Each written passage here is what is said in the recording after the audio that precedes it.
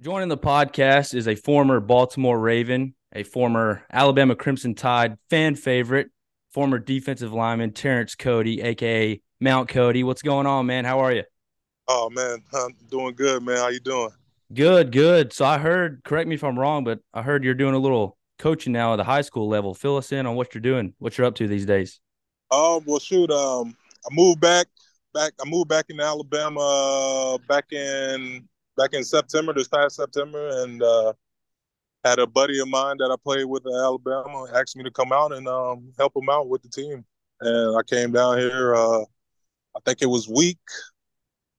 I think it was week four, week five. I showed up, and they had actually lost like two games in a row. And then once I showed up and started helping out, they went on a win streak and made it to the second round of the playoffs.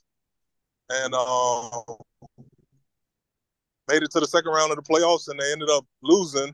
It was by like two touchdowns and stuff, but they ended up playing their butts off and and um I decided to like just stay around and stick it out. Help so out. Have you developed a passion for coaching since you've done that? Um I've always had a passion for the game and I think just the coaching just comes with having that passion for the game. So yeah, I feel like I feel like I'm developing that. Well, man, I want to start this interview off with a bang. So take me back to that field goal block against Tennessee. What was that adrenaline rush like? I mean, that was a Daniel Moore painting. I'm sure, you know, tons of people have that picture in their living room. It looked like Julio was about 25 feet up in the air. What do you remember about that? Oh, shoot, man.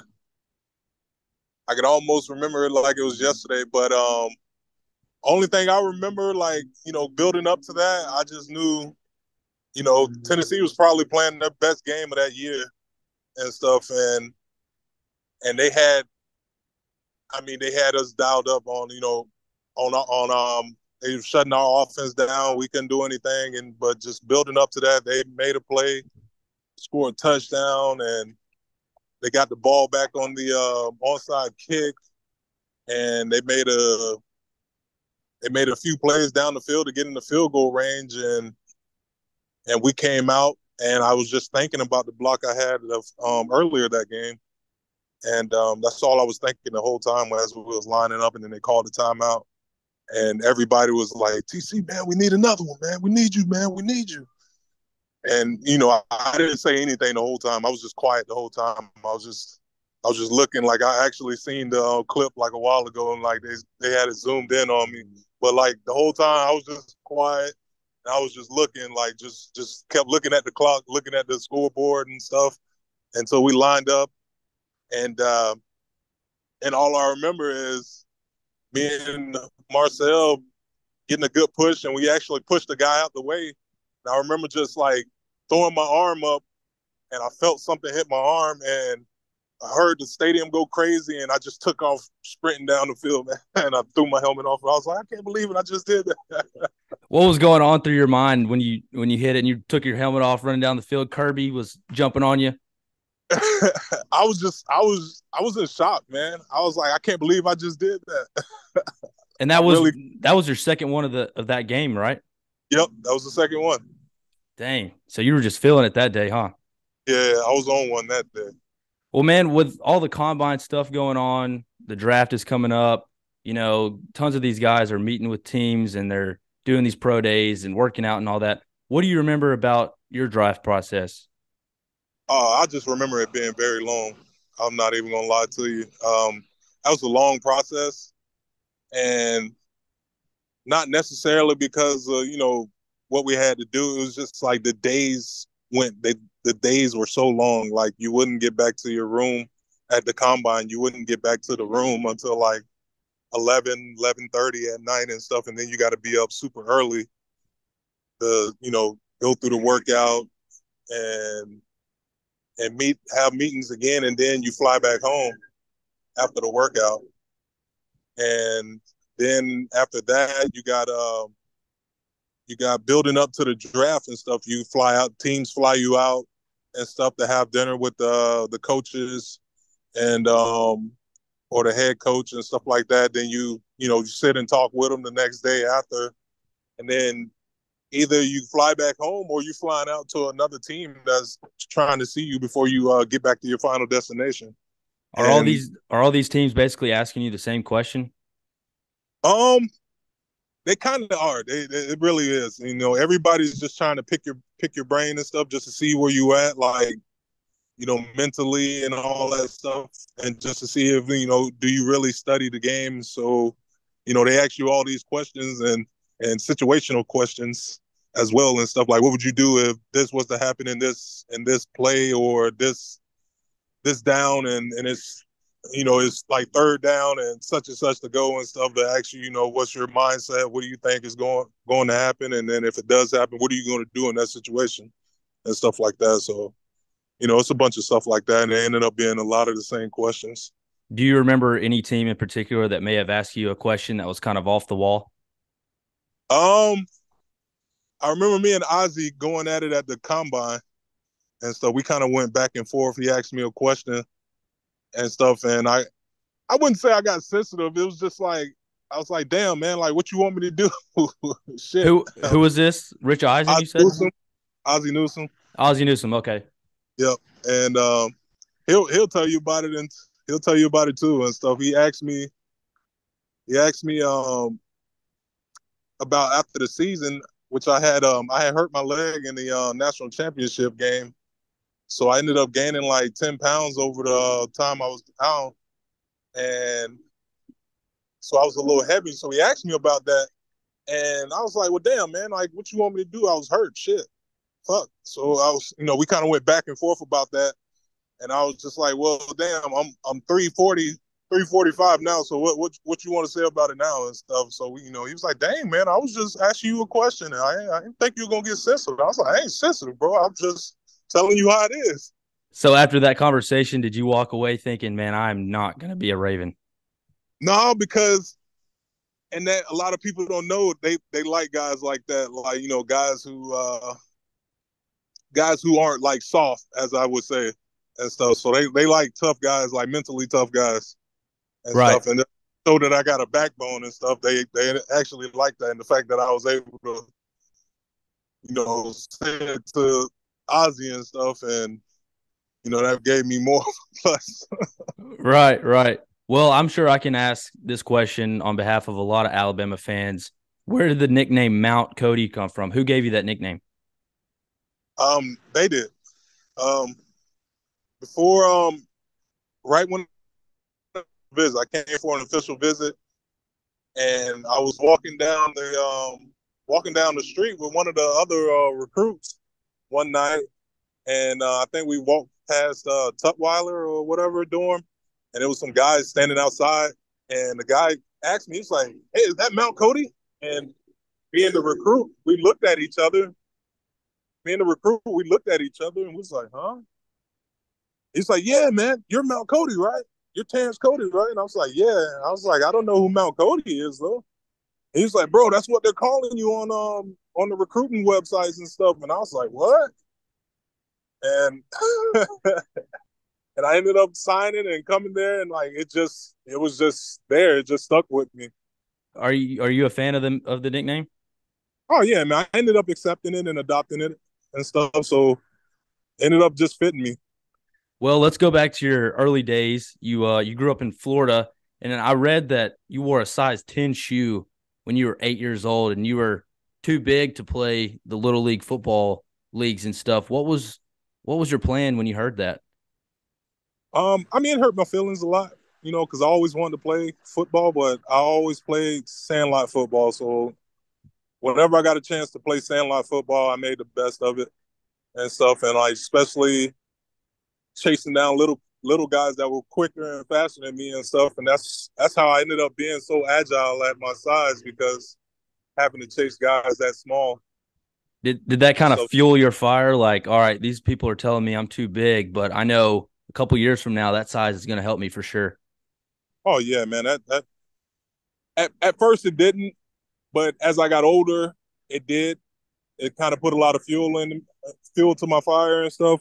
And once I got to high school and I was able to play, like it just felt natural to me. Well, when did you realize that you're pretty good at this football thing?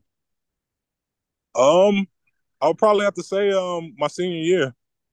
During going through my senior year, well, become before my senior year, uh, we went through uh went through spring training because I missed out my my sophomore and junior year be- because of grades. So when I was able to get back on the field, um, and it was just like I never left, and and I was just like, damn, I may be really good at this, but my my uh, high school football coach was even more like, you can be playing in the NFL one day, and like, and that that that dream just became bigger and bigger. You know, each each step I took closer to getting there. Well, playing off of your senior year, I want to I want to want you to clarify a story for me. I heard that you guys were playing North Fort Myers. You were playing against uh, Noel Devine, who ended up playing running back at West Virginia. And I read that you mm-hmm. hit him so hard that he went to the sideline and started throwing up. Is that true? Yeah, that's a true story. That's what, true story. What happened? You can actually see it on the clip as well.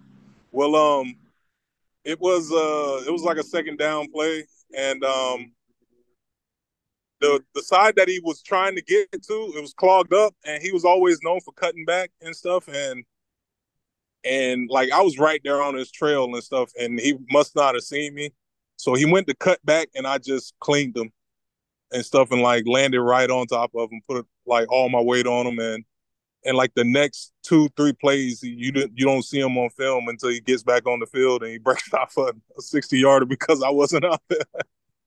Golly, I don't know if anybody else that I've heard of that's made someone throw up hitting them so hard. That's that's an honor.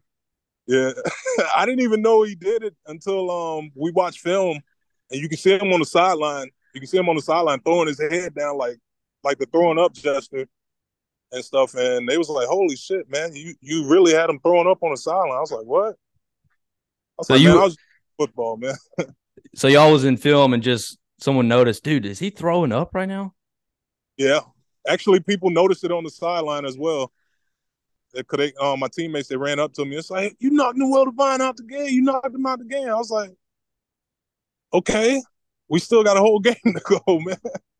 That's funny, man. That's wild. Well, speaking of, uh, like I said, you're a Florida guy, and coming out of high school, you spent two years at Mississippi Gulf Coast Community College, um, yep. and then you went to Alabama. This is a little bit of a two-parter. One, coming from Florida, was it always your dream to play for the Florida Gators? And two, how did you end up coming to Alabama? Um, the answer that first one, always been a um a Canes fan from from when I started watching football, and still I still am to this day a Hurricanes fan and stuff. Uh, watching Ed Reed, those guys play back in the days, and you know Sean Taylor was like my favorite player before you know the tragedy happened with him, but always wanted to go to Miami and um, and then on the answer to the second part was uh, how I ended up at Bama. I was supposed to sign with Miami, but my coach, my uh, DB's coach, who was uh, who played for Coach Saban and and um in the NFL for the Jets. I mean, for the Cleveland Browns, he played for Coach Saban. He played safety for him, and uh, he got in touch with Coach Saban. He was like, "Hey, I think you need to take a look at this kid we got down here and stuff that'll fit well with your defense and stuff. And he sent some coaches down there to watch me play. And uh and after that, it became just, you know, like, hey, we got to get him in. We got to get him up here and stuff. I talked to coach a few times, uh, you know, on the phone and stuff. And then when I got up there for uh, the unofficial visit, I came for uh, the Georgia game. And um, and I talked to him, and man, like I wanted to play that same day that I talked to him. Like I don't know what it is that coach. I don't know what he's. I don't know what it is, man. But he has you ready to. He has you fired up and ready to play every time you talk to him. So you were sold on Bama just as soon as you stepped foot on campus. Exactly. Well, you played in that 09 championship team or a game uh, when they played against Texas. Apart from winning the game, what was your favorite moment of that game? Um, my favorite moment of that game. What's something that sticks out in your mind about that game? Granted, we you know there's a lot of good plays and stuff in that, but I think the best moment is like at the end of the game. Um, that was when I realized like, damn, I'm a national champion again because I won one in junior college and then they win one at you know in D1 and stuff. Like I was just like, damn, like I did it again.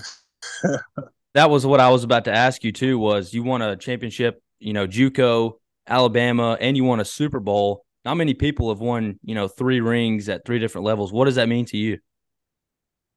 Man, that meant a lot. That means a lot to me, and it still does because, like, not a lot of, like you said, not a lot of people has done that, and a lot of people wish they've done that. Only ring I'm missing is a high school ring, and stuff. So hopefully, I can get one through coaching these guys up here and stuff. But um, man, like that's that's the biggest. That's like one of the biggest accomplishments in my um in my career is having a ring in each level that I played at, and it's just and like that stuff means a lot to me. I mean, experiencing the Super Bowl, you know, just playing in a game that we all dream about, you know, playing in, you know, what was that like, the experience? Because you were playing in New Orleans when you guys beat the 49ers. And wasn't there a power outage in the middle of the game? Yeah, it was definitely a power outage. The power was out for like an hour or so. Yeah, the power was out for like it was out for like an hour or so. Oh man, all these cars coming by. But um, the power was out for like an hour or so, and right after we got a sack on um Colin Kaepernick and stuff, and we were up by like three touchdowns and stuff, and it was just that whole moment. Like it was like, man, like oh, how does this happen in the Super Bowl? All this money, this they, all this money they paid, get paid to do do this for, and set all this up, and I was just like, wow. But being in that being in that game, like you know, just it gave me goosebumps like the whole entire time we were up there. I was just I, I just randomly got goosebumps because I'm like, geez, I'm about to play in the Super Bowl. It's like something like I watched every year growing up and playing video games on the Super Bowl, getting getting my team to the Super Bowl, all that stuff. So it was like a, all that stuff was like a dream come true. Absolutely. That's awesome. Well, man, I appreciate you taking the time to chat some ball with me. Good luck uh, coaching them Dora Bulldogs. All right, man. I appreciate you having me on, man.